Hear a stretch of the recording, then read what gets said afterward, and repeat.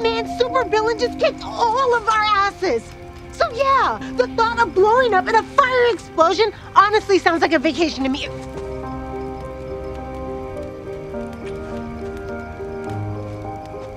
Maybe that'll get you out of your head. Where are you going? To look for my damn car.